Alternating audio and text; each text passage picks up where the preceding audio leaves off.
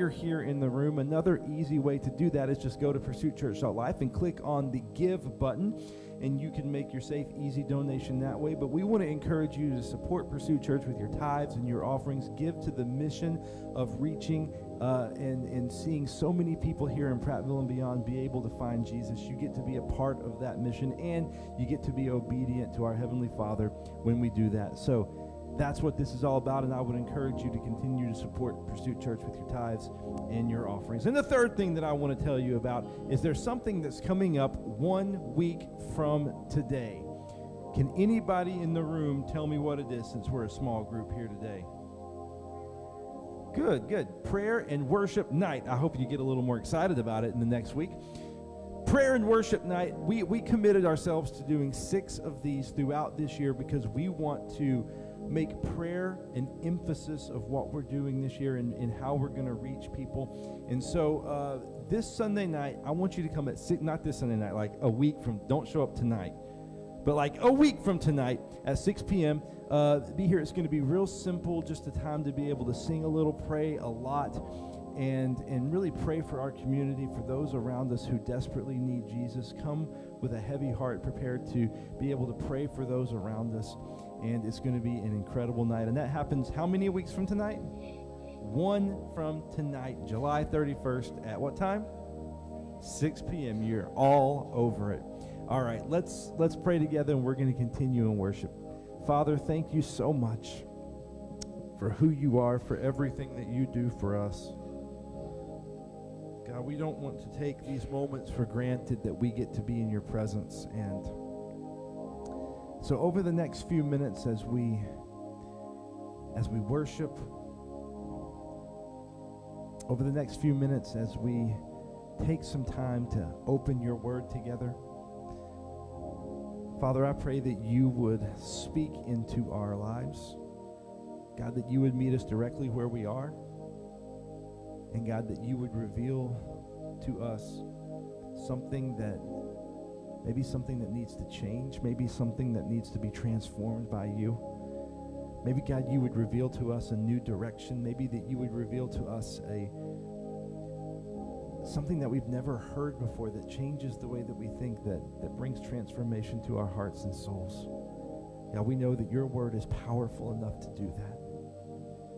And so we ask that you would do that and that, that we wouldn't just hear it, and it be something that goes in one ear and out the other instead that we would receive it and it would it would really transform us.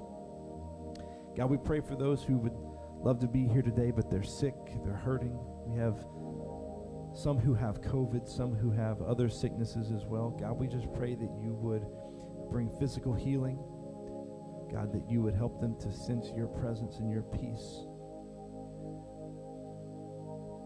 And God, we pray that you would use this church. God, we, we believe with all of our hearts that you have placed us here to be a light in this community, to be a place where people could find Jesus and it would be life changing for them. We pray that you would use us. We pray that you would send us people who desperately, desperately need to hear about your grace and your love. In Jesus' name we pray. Amen. Amen. If you, if you are able, stand with us. We're going to continue to sing and worship together this morning.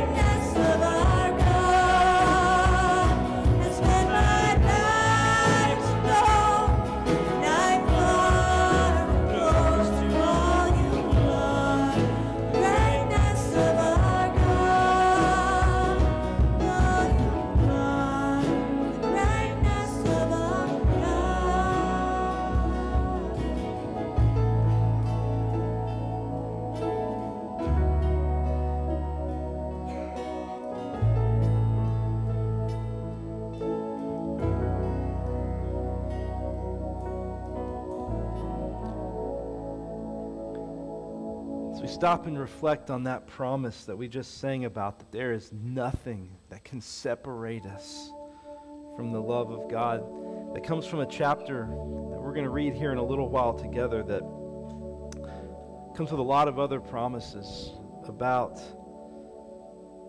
how incredible our God is and that if He is for us, there is no one that can be against us. And so, as we continue to sing this one last song together, I just want you to remember that promise this morning as we sing.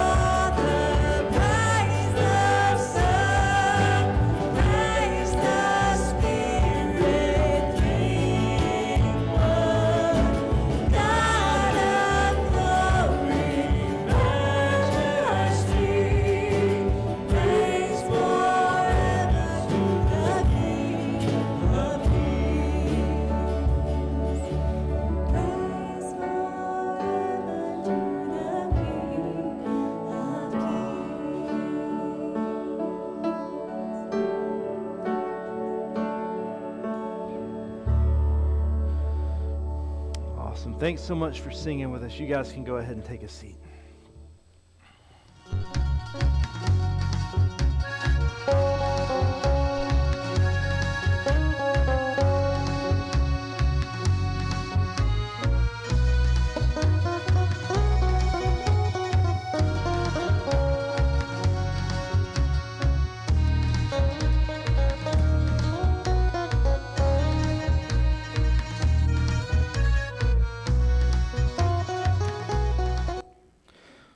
You better enjoy that theme music while you can. It's going away soon. So, um, we are in week seven of a series called When in Rome. And in this series, we have been looking through the book of Romans, which was written by a guy named Paul, making sure you're with me here in this first service, uh, written by a guy named Paul. And he wrote it as a letter to a church in Rome because that church was beginning to fracture, to splinter a little bit, because they were coming from all these different backgrounds and they were trying to figure out how to believe and live out this new thing that Christianity was. And so Paul said, I'm going to write a letter that unites them all under the umbrella of Jesus together. And now we come to chapter 8, which is considered by many to be the greatest chapter in the entire Bible. Now, I might lean a little bit more towards Luke chapter 15 personally, but this one is right up there. Certainly, the point in Romans that if you were like writing the soundtrack to the movie based on the book of Romans, this is when you would start like playing the Rocky theme song, because this is when he like starts turning the. Have you ever seen the movie Rocky? Okay, you know the music? Okay, good, because you all just look confused. It's a movie, and this is when they would start doing that music because this is where Paul is going to really begin to challenge us to do something. So far, what he's been talking about is like all this incredible stuff about Jesus, how we relate to him, what it means to have a relationship. This is what Jesus did for you, and he's telling all this incredible stuff. And now he's going to say, What are you going to do with it? This is almost kind of like an invitation that Paul gives us to something absolutely amazing and incredible that's almost indescribable, which is why he had to spend seven whole chapters describing it. It's kind of like this. Let me illustrate it this way. Um, this last week, our kids got to do something really fun. They got to go to a theme park called Dollywood with their grandparents. Anybody ever heard of Dollywood? Anybody ever been there? A couple people have been there. Okay.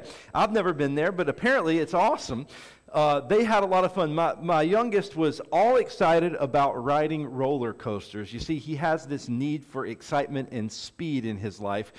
And uh, he, at times, I was kind of thinking he would probably wimp out on a couple of these because we've been to like smaller roller coasters that go like 30, 40 miles an hour. And even on those, he's kind of like.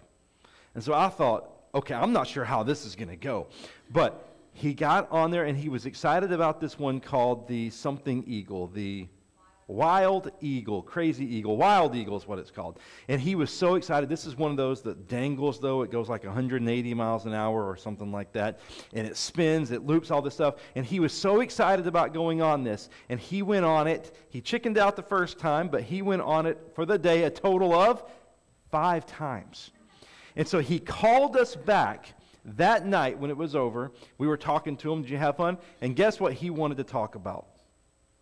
The wild eagle. He started telling us about how much fun he had on this wild eagle, how it looped, how he, he chickened out the first time, but then he did it five times, and how fast it went, and he was so excited about it. Then he got up the next morning. We were three hours behind oh, I'm sorry, two, yeah, we were three hours behind him on Eastern time. He was on Eastern time, and so we were three hours behind him at this point because we were on the West Coast. And he was like calling us. It was like five o'clock our time. He's like, "Hey, did I tell you guys I rode the Wild Eagle?" Yes, you told us that you rode the Wild Eagle. We get it. It was fun. It was fast. He's like, "Yeah, I just wanted you to know that I rode it five times." Okay, we got it. Then we're, we're on our way to pick them up Friday night, and he calls uh, Jessica's phone, and he's like, "Hey, do you guys remember that ride that I told you about the Wild Eagle?" Yes, buddy, we remember the Wild Eagle. You rode it how many times? Five. That's right. Does it loop? Absolutely, it does. Then 30 minutes later, he FaceTimes me as we're driving to pick them up to say, you know what? Just stop what you're doing in the car and YouTube the Wild Eagle so you can see what it's like. It's like, buddy, we get it. You like the wild eagle. Then we get there, and guess what he wanted to talk about? No, why would you assume that? Yes, that's all he wanted to talk about was about the. And finally, he just stops. And he says, You know what? Here's the deal. You're just going to have to go write it for yourself. And then he said this He said, Every year on my birthday, until we turn, till I turn 18, you're just going to have to take me to Dollywood. And there's nothing you can do or say about it. It's just happening. True story. That's what he said. So I guess every year there's nothing I can say about it. There's, it's going to have to happen. But this is the point where Paul does that exact same thing. He's been telling you about this incredible, amazing experience that it means to be a follower of Jesus. How it is so transformative and so special, and there's nothing like it in the world. And now it's the point where he's going to turn to every single one of his readers and say, Now you need to come try this for yourself because I, it is almost indescribable. And he's inviting us, inviting you into this relationship with Jesus that is going to be so amazing. And if there's one word that's going to describe what he's inviting you to in chapter 8, it's this word freedom. Everybody say freedom. Come on, let's say it like you mean it. One, two, three. Freedom. freedom. Second service won't even do that good. Freedom. And listen, if there's one word that I think the world would use to describe Christianity, it probably isn't freedom, if I'm being real honest. As a matter of fact, I, think that a lot of people on the outside looking in probably look at Christianity and they would say that is the opposite of freedom. Because it feels like all you got to do is follow a bunch of rules. It feels like all you got to do is make sure you do the certain things, believe a certain way, behave a certain way. Does that sound like freedom to anybody here? No, it doesn't sound like freedom because that's what the outside world looks at. But I kind of understand that that's the way that the outside world looks at following Jesus. But can I tell you guys another little secret? I believe that there are a lot of people in the church, maybe even some people sitting in this room or some people sitting on the couch watching right now, who are a part of this who don't feel free who don't feel like Christianity should be all about freedom. And the reason is is because we carry some weights as Jesus followers that we were never meant to carry, that make us feel weighed down. And matter of fact, eh, some of us fall into this thing that we would call the performance trap. Everybody say the performance trap. The performance trap is where we feel like we have to perform a certain way in front of people and a certain way in front of God in order that God would give us His love, that He would give us His grace. As long as we perform and do it the right way, do the things that we're supposed to do, then God's going to love us. These are also the kind of people that, like, if a tornado comes within a mile of your house, you're like, oh my goodness, God, what did I do that you would send this tornado to warn me? Right? Because it's all about my performance. And if I'm performing well, then God's loving me. If I'm not performing well, then God doesn't love me. And a lot of Christians fall, fall into this performance trap. And equally as important and kind of closely related to the performance trap is the pretending trap. Everybody say the pretending trap. The pretending trap is where you try to pretend that everything's okay this is where you put on a really good show for people. This is like that family that shows up to church every Sunday morning. They're all dressed up, they match, they've all got like their lavender Bibles, and everything looks great. But on the way into church, they were yelling and screaming at each other. The mom was swinging into the back seat, spanking the kids, right? But on the outside, everything looks great, but on the inside of their soul, there's just chaos. I've heard it illustrated this way. You ever, you ever in a pool try to push a beach ball down under the water? Anybody ever try to do that? And what is that beach ball trying to do the whole time you got it under the water? It's trying to come up, right? It's resisting. And, and you can look good while you're doing it for a while and nobody sees the beach ball, but it's, it's fighting you. And then what happens every now and then when you can't control that? It pops up and it makes a big splash and it, it's, it's tall, it's big, and then you got to try to grab it again and put it back down. That's kind of what the pretending trap does to us. It's like we try to push down the sin in front of people. We don't want to deal with it, we don't want it to, to change. We don't want to change. So what we do is we just pretend that everything is okay. We push it down like we're pushing down a beach ball, but every now and then, what's going to happen when you are just playing the pretending game? It's going to come out and it's going to be ugly and it's going to be rough. And so uh, the, the performance trap, the pretending trap, the parent trap, whatever it is. That's a movie. It has nothing to do with this. But, that's, but whatever it is, listen, we are meant to not carry certain weights that we try to carry. God wants you to experience freedom in your life that's the way he designed this, and that's the way that it's supposed to work. I, I, I thought really hard. It was a late night for us, um, but I thought really hard. You guys ever seen the movie Braveheart? It's all about freedom. I was going to paint Scott, yeah, freedom. I was going to paint Scott's face half blue in honor of this this morning, but we just ran out of time. And uh, if you don't know the reference to that, you've had like 30 years to, to watch it, so that's kind of on you. Paul wants you to experience freedom. And the way that he's going to tell you to experience this freedom is, is actually two things. And it's kind of two sides of the same coin. And these things have to always be experienced together. And if they're not experienced together, it doesn't really work. Now, throughout history, a lot of denominations, a lot of theologians have tried to lean one way or the other on this. And they only focus on one side of the coin or the other side of the coin. But unless you have both sides of this kind of two headed coin together, it's just not going to work. And Paul's going to explain in Romans chapter 8, verse 1, what one side of the coin means. And then he's going to spend the next few verses explaining what the second side of the coins mean. But both are equally important. Do you hear me on this?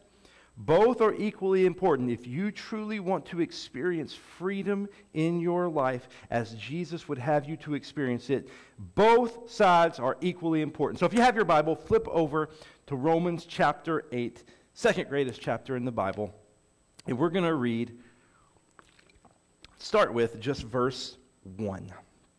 And verse 1 says this Therefore, there is now no condemnation for those who are in Christ Jesus. Yeah, you should have stood up and clapped at that one. Not for me, but because of what Paul wrote, because this is one of the greatest verses in the entire Bible. Matter of fact, this is part of Paul's answer. Do you remember what he talked about in chapter 7? About all the struggle, the issues, and I told you that the answer was that Jesus came into this world and did his thing. Well, this is kind of Paul's continuation of that answer.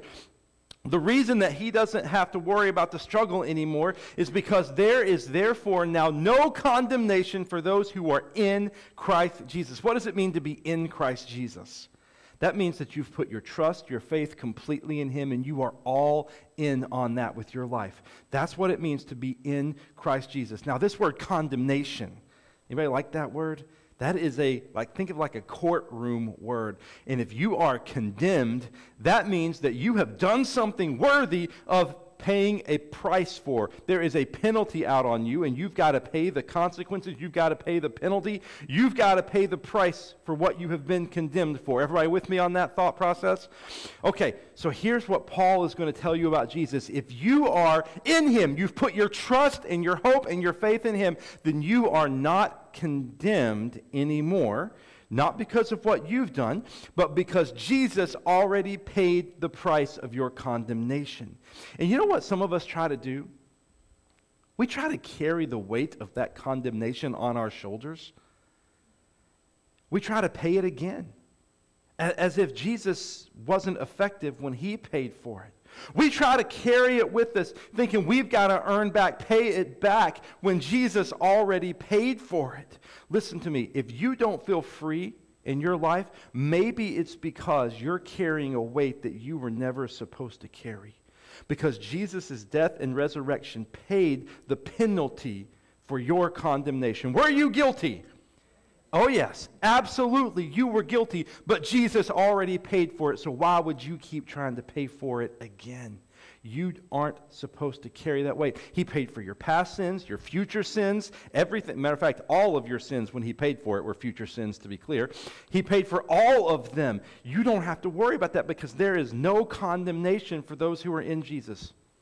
I can see that you're not as excited as you should be. Maybe you're even confused. So let me try to explain it this way.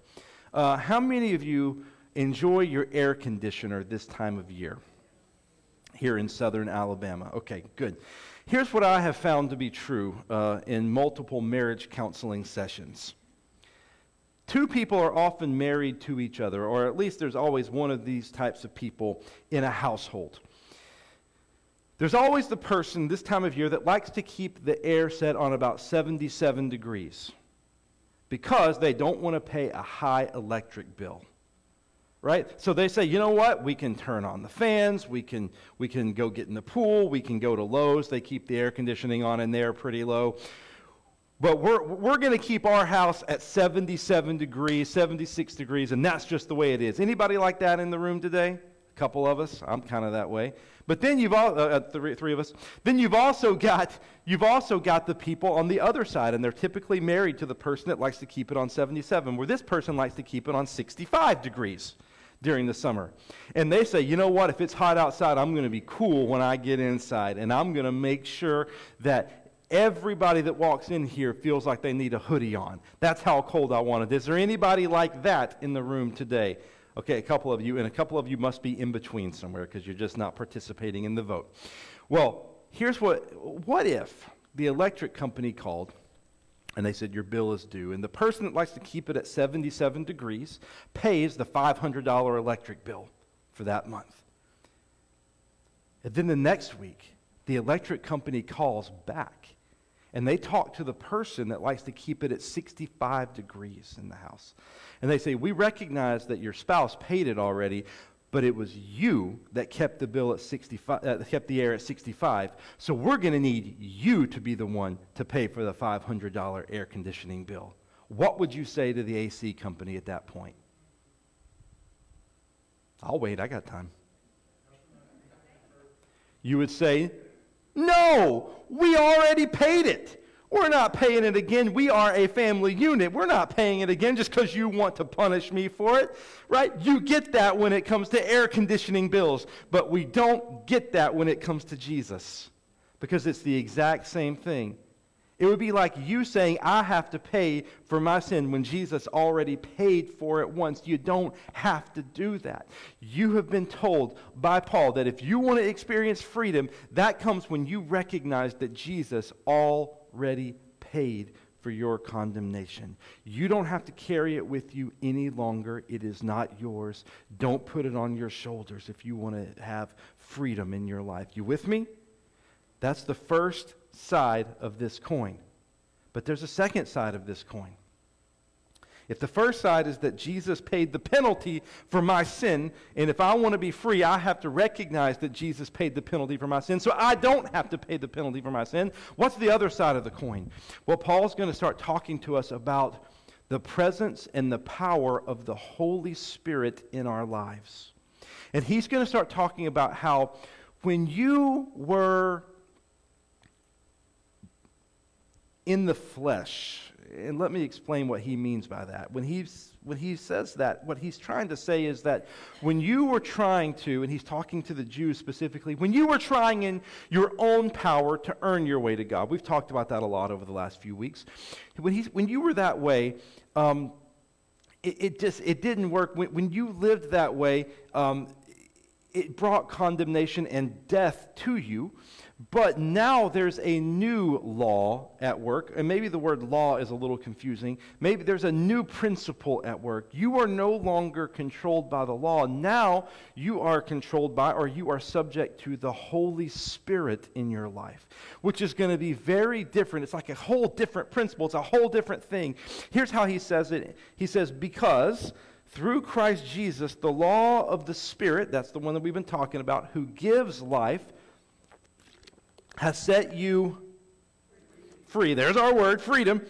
Has set you free from the law of sin and death. So, this one law was at work within you before Jesus. That law said that you had to earn your way to God. You had to keep the law. And if you did it good enough, if you performed well enough, then you earned your way there. Paul says you have been set free from that.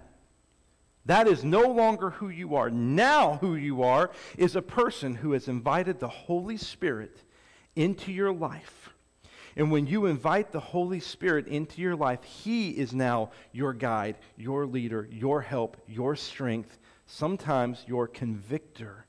And He will guide you and lead you in the direction that you are supposed to go if you will open yourself up to Him.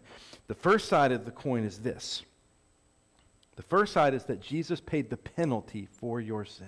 The second side now is that the Holy Spirit gives you power to overcome sin in your life. And these two things always, how often? Always have to go together.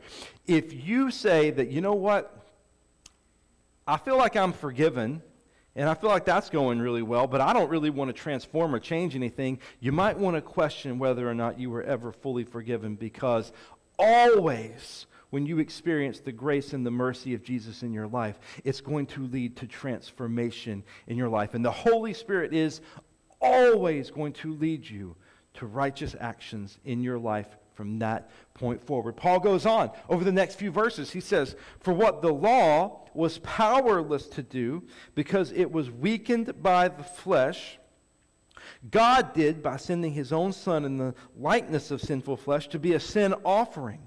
And so he condemned sin in the flesh in order that the righteous requirement of the law might be fully met in us who do not live according to the flesh but according to the spirit.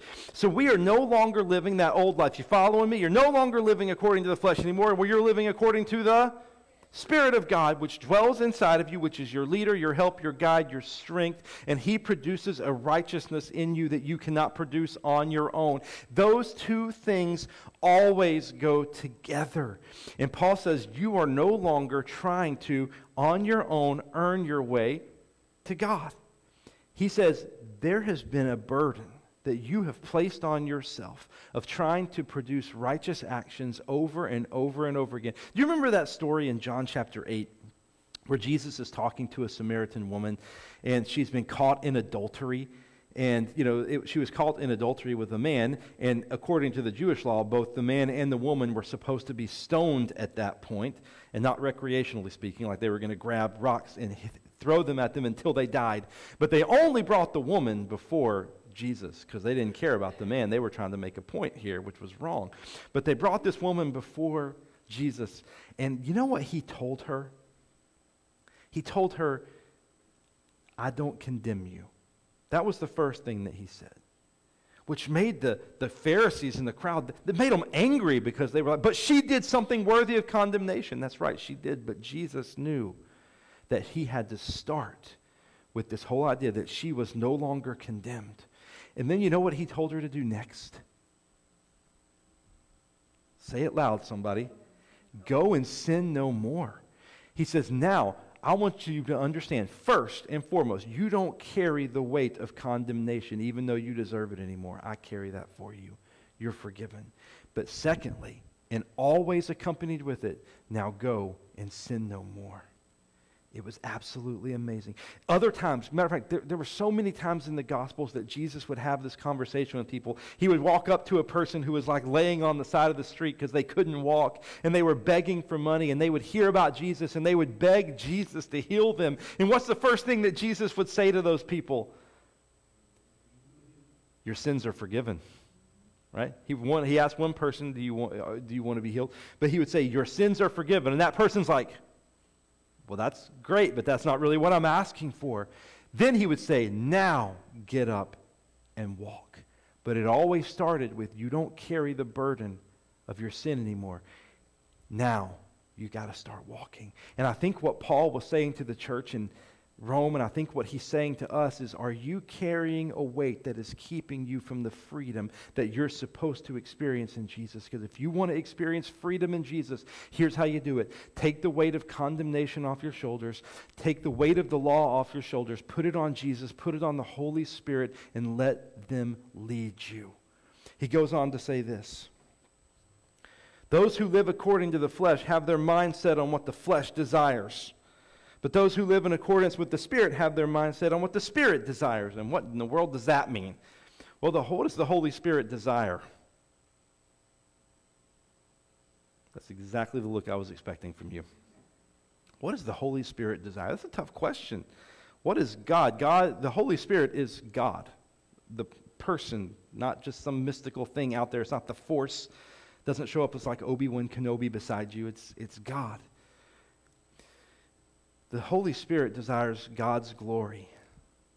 The Holy Spirit desires truth. The Holy Spirit desires justice. The Holy Spirit desires love displayed among God's people.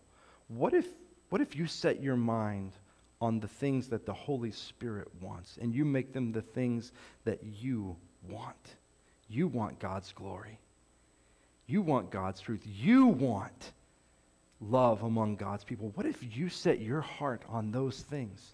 That's how you let the Spirit lead you, according to Paul. You are aware of His presence in your life. And then it goes on, verse 6 The mind governed by the flesh is death, but the mind governed by the Spirit is life and peace. The mind governed by the flesh is hostile to God.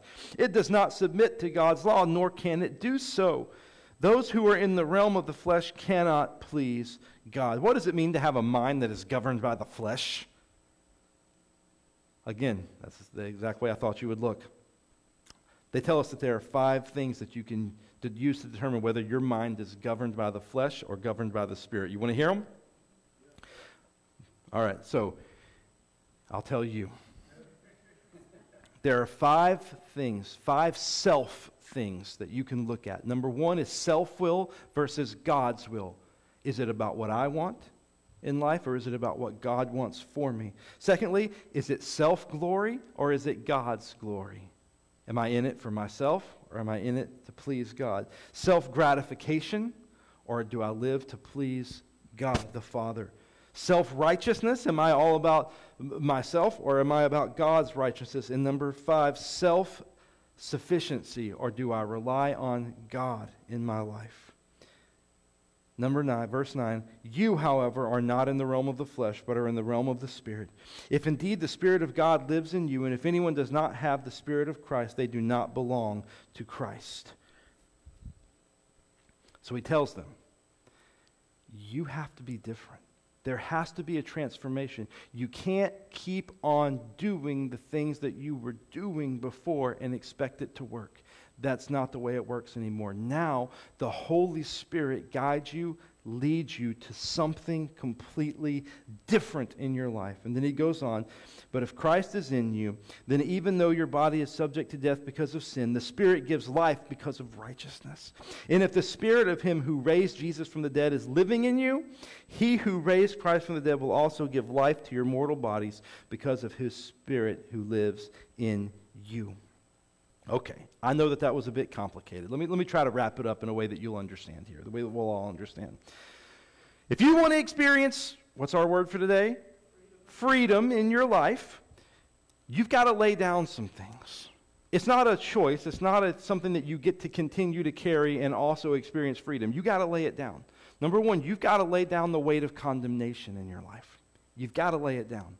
You cannot carry it and experience freedom. Some of you are carrying it still. You're trying to pay for the sins that Jesus already paid for. You got to lay it down. The second thing is you cannot continue to live as if life is like this. You cannot continue to live as the Christian life is not a gradual self improvement, it's learning to live in step with the Spirit. You cannot just continue to try to say, you know what, I'm just going to do a little bit better this year. This year, I'm going to eliminate one sin from my life. Next year, I'll eliminate another one. You, it, it's not some gradual self improvement plan like Dr. Phil trying to get you better. Instead, you've got to eliminate that way of thinking if you want to be free. That's not the way that we think anymore. Paul says the way that you experience freedom is you line yourself up with the Holy Spirit in your life. You are constantly aware of His presence in your life, and you trust him to lead you and guide you. And you know how you can determine whether the Holy Spirit is leading you to do something or if you are leading you to do something? I can wait. If you are leading you to do something, it might very well contradict God's word. The Holy Spirit leading you to do something will never contradict God's word. So if you're hungry and you feel like stealing a Snickers bar, that's not the Holy Spirit leading you, right? God's going to lead you towards righteousness. These two things always go together. And then I can't tell you this is the, like the greatest chapter in the whole Bible and then only do 11 verses when there are 39 verses. Let me tell you what happens through a few more verses. Uh, through the next few verses, Paul continues to tell us that it's only through the power of the Holy Spirit that we can overcome sin in our life. I heard one pastor say that if you try to do it the other way and you continue to live in the old way, carrying that bondage on you, that it's like trying to slap a lion. Just doesn't go very well for you or the lion. Then he goes to verses 18 through 30, which he begins to talk about how in this world, even when you experience the Holy Spirit leading you in your life, there are going to be times of trial and suffering and tribulation, and you have to press through those, even uh, even with the Holy Spirit in your life, you have to press through those. And then he gets to the final few verses where he talks about kind of the the big reveal this is what it means to experience true victory and freedom if you have laid down the weight of your condemnation, if you've put on the help of the Holy Spirit. This is what it says If God can be for us, who can be against us? He who did not spare his own son, but gave him up for us all, how will he not also, along with him, graciously give us all things? Who will bring any charge against those whom God has chosen? It is God who justifies. Who then is the one who condemns? No one. Jesus Christ, who died more than that, who raised to life, is at the right hand of God and is interceding for us. Who shall separate us from the love of Christ? Shall trouble? Or hardship? Or persecution? Or famine? Or nakedness? Why is that one on the list, right? Or danger, or sword. As it is written, for your sake we face death all day long. We are considered as sheep to be slaughtered. No, in all these things we are more than conquerors through him who loved us. For I am convinced that neither death nor life, neither angels nor demons, neither the present nor the future, nor any powers, nor neither height nor depth, nor anything else in all creation will be able to separate us from the love of God that is in Christ Jesus our Lord. If you want to experience freedom in your life, it is available to you. If you want to experience it, it's there. Freedom and victory are there if you will lay down the weight of your condemnation Put on the help of the Holy Spirit. Paul says that is the key to freedom. And you know, th- these verses that we just read, they are actually a direct comparison, a direct contrast, rather, to Psalm 44. Anybody have Psalm 44 memorized? No. Psalm 44 is a, kind of a lament about this time in Israel's life where they had fallen into deep sin. They were surrounded by their enemies, and there was no way out. Freedom wasn't an option. They were about to be exiled. Here's what Paul is telling us there are a lot of people, maybe even you, who are still living in Psalm 44 when we're supposed to be living in Romans chapter 8. And so, if you're here and you're carrying the weight of condemnation in your life, this is the time that you lay it down. If you're here and you haven't submitted yourself to the Holy Spirit to lead you and guide you and to be constantly aware of His presence so that it can bring transformation in your life, today is the day that you should do that. Stand with me. I want to give you an opportunity to respond to God's message to you today that you don't have to carry this weight. You can experience freedom instead. And so if you're here, with everybody head bowed and eye closed, if you're here today and you feel like you're carrying that weight of condemnation on your shoulders, you feel like you need to pay for it. I'm going to give you an opportunity to respond today. You can lay it down and accept the forgiveness of Christ in your life, maybe for the first time. If you're here today and you would say, you know what, I, I've never really even thought about it. I just thought that I was supposed to try to do better and, and get out of my sin. But I've never really taken the time to think about what it means to submit myself to the Holy Spirit, to invite Him to live in me so that I could be led by His presence, by His power, and that He would bring transformation to me. You know, when the Holy Spirit comes into your life, and you allow him to lead you and guide you, it produces something in you. Paul says it produces fruit in you. It produces joy, love, peace, patience, goodness, kindness, faithfulness, gentleness, and self control. And so I want you to allow the Holy Spirit to do that in your life. If you've just been trying to get better, you've been carrying a weight that you were never meant to carry, you are supposed to experience a freedom that is beyond that. And I want to give you the opportunity to respond. And so take the next 30 seconds, let the Holy Spirit speak to you. If you need to lay down the weight of your condemnation, or if you need to commit yourself to inviting the Holy Spirit into your life, whatever it is, I'm going to give you an opportunity to respond. You can pray at your seat, you can pray at the front, you can come and talk to me afterwards. I just don't want you to leave here today without experience freedom and victory in your life. Take 30 seconds. Let the Holy Spirit speak into you.